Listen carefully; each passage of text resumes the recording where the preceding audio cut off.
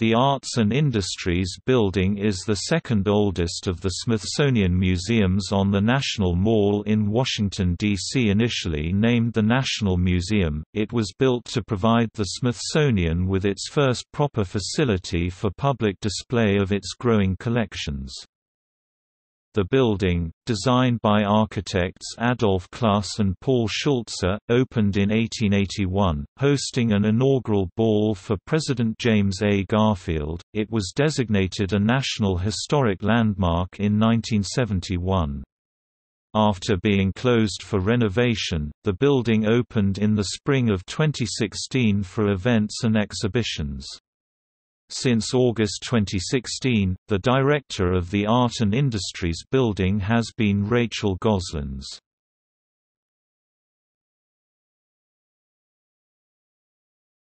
Topic Description The Arts and Industries Building was sited slightly farther back from the mall than the Smithsonian Castle to avoid obscuring the view of the castle from the Capitol. The building was designed to be symmetrical, composed of a Greek cross with a central rotunda. The exterior was constructed with geometric patterns of polychrome brick, and a sculpture entitled Columbia Protecting Science and Industry by sculptor Caspar Buberl was placed above the main entrance on the north side. The interior of the building was partially lit through the use of skylights and clerestory windows. An iron truss roof covers the building. In 1883, the exterior was adjusted to use a more vibrant maroon-colored brick. The building is composed of four pavilions, one at each corner, about 40 feet (12 meters) square and 3 stories tall. These surround a central rotunda. Lower sections or ranges were placed outside the pavilions. Pervasive complaints of dampness and the poor health of the building's occupants led to the replacement of the wood floors in the 1890s. Balconies were added in 1896 to 1902 to increase space after a new Smithsonian building failed to be authorized by the United States Congress. A tunnel was constructed in 1901 to the Smithsonian Institution building next door.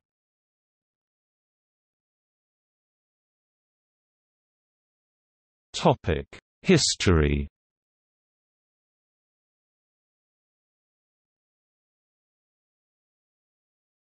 Topic: 1800s. According to the Smithsonian Archives, the congressional appropriation for the 1876 Philadelphia Centennial Exposition contained an interesting proviso. It stated that the appropriation was considered a loan, and if income from the exhibition allowed the loan to be repaid, Congress would then allow part of those funds to be used to construct a new building for the National Museum. The success of the exhibits allowed the loan to be paid off soon after the event. As promised, then, a bill was introduced in Congress two years later by the Board of Regents of the Smithsonian to build a suitable structure. The bill included plans developed by General Montgomery C. Meigs, which were based on the government building by James Windrim at the Philadelphia Centennial Exposition, which was itself inspired by structures at the 1873 Vienna Exposition. Funds were approved in 1879 and the design was executed by Cluss and Schulze, based on the Meigs plan. During its construction, the materials featured at the Philadelphia Centennial Exposition up to 60 box cars worth of donations were too numerous to fit in the Smithsonian Institution building and so were temporarily stored in the District Armory building at the corner of 7th Street SW and Independence Avenue, according to the aforementioned Smithsonian Archives. The first event to take place in the new National Museum building was the inaugural ball for President James Garfield and Vice President Chester A. Arthur on March 4, 1881. A temporary wooden floor was laid, two electric lights were placed in the rotunda, 10,000 bins for hats and coats were erected, 3,000 gas lights were installed, and festive buntings, state flags and seals decorated the halls. A colossal statue of America stood in the rotunda, illustrative of peace, justice and liberty, grasping in her uplifted hand an electric light. Indicative of the skill, genius, progress, and civilization of America in the 19th century. Eight months later the museum officially opened to the public. It contained 80,000 square feet of exhibit space with specially designed mahogany exhibit cases. The exhibit halls contained exhibits on geology, metallurgy, zoology, medicine, anthropology, art, history and technologies such as ceramics, printing, transportation, textiles, fisheries, and agriculture.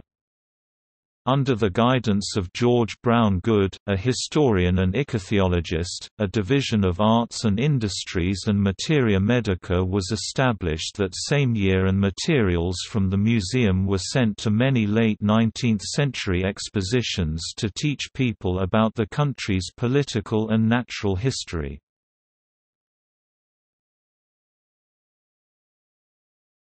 Topic 1900s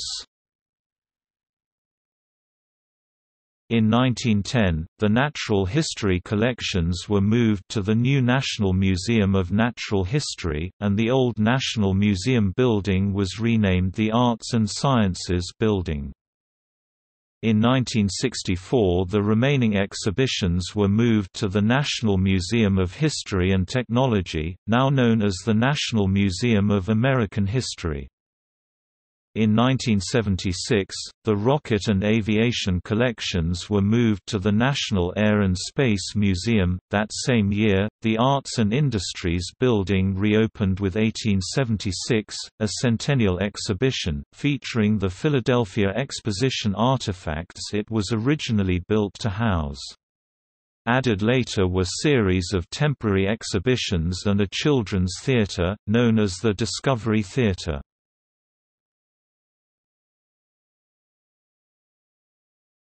Topic 2000s In 2004, the museum was again closed for renovation. Its uncertain future and deteriorating condition led the National Trust for Historic Preservation to name it in 2006 as one of America's most endangered places, an annual list of endangered historic sites.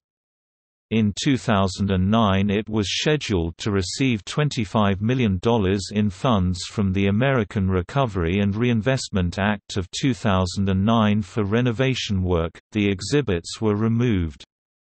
Revitalization of the shell alone was solicited in 2010. A complete restoration was projected to cost $200 million $65 million in structural renovations alone and last until the year 2014. It has also been discussed as a possible site for a national Latino museum. In January 2014, the Smithsonian announced that the building would remain closed for the foreseeable future, citing funding concerns but on April 12, 2015, Smithsonian Acting Secretary Albert Horvath said about 40% of the building would reopen in fall 2015 for use as a short-term exhibit space. Smithsonian officials said that the building had been architecturally stabilized, and minor refurbishments made to the bathrooms, HVAC system, and interior paint scheme. Horvath said the building would not completely reopen.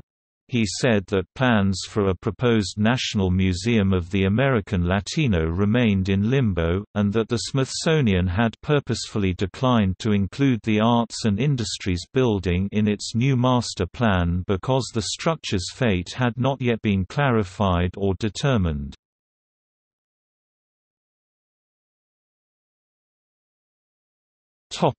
See also List of National Historic Landmarks in Washington, D.C.